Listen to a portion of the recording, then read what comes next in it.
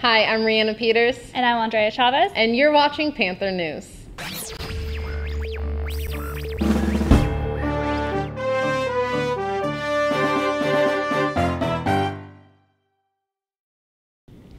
So I'm new to Panther News, and um, I'm a sophomore. I've been here since the school opened, and I wanted to join because I wanted to um, meet new people and spread the news to you. And I'm so happy to have Andrea here next to me hosting episode 17, 18, one of those. So I'm happy you're here with me.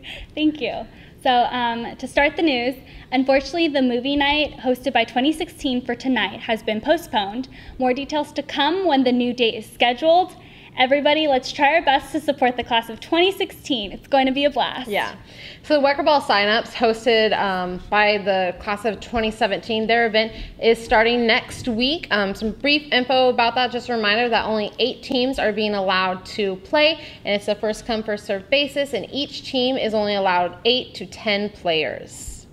February 22nd is an exciting Saturday because the class of 2014 Scholarship Fund is hosting the Winter Formal, A Night in Paris. Rihanna, since you're the head of the Scholarship Fund, please give us details about that.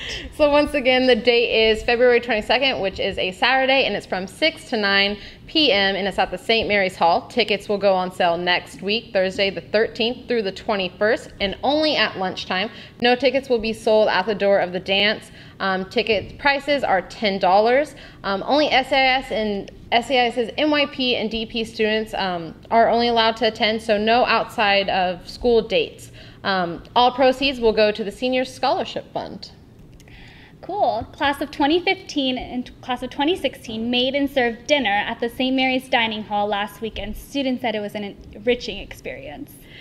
And SAIS has received in the past week some very exciting news. There is a Spain trip which is occurring this summer.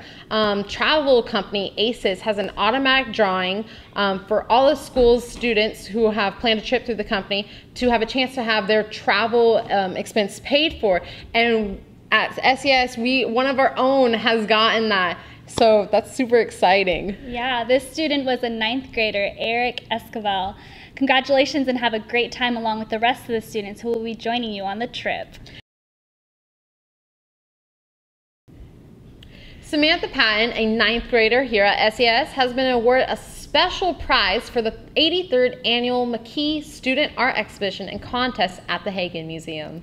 Nancy Guerrero, Ben Kern, Abby Fredrickson, Olivia Wilburn and Veronica Rico won honorable mention. Tomorrow from 1:30 to 3, the Haggin Museum will have a reception which is free to the public if you want to stop by and congratulate them. So fortunately, this weekend is a 3-day weekend due to the birth of our 16th president, Mr. Abraham Lincoln. so with that being said, have a great 3-day weekend. Tuesday is an A day. Bye. Bye.